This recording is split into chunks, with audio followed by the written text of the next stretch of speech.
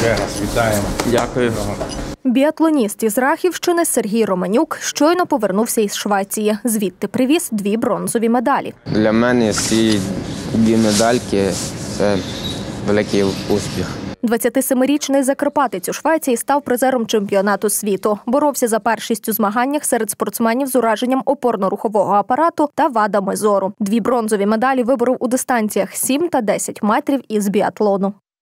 Він, до речі, два роки тому був першим паралімпійським спортсменом в Україні, який пробіг 50 кілометрів е, лижних перегонів. Це супергонка для здорових. І серед 12 здорових спортсменів в Україні він прибіг сьомий. Людина дійсно якби заряджена і має не лише бажання, а й робить все для того, щоб його можливості втілилися в такий результат, який він зараз нам приніс. Сергій втратив руку ще в дитинстві, та спорт повернув його до життя. Біатлоном займається вже більше 10 років. До змагань готувався посилено. Ти це вже проходив не раз.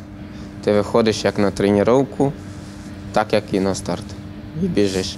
Я зібрався, приготувався, я знав, що це не перші мої змагання. Я вже знав, що робити. Ми тренувалися в западному центрі, е, село Яворів, е, Турківський район.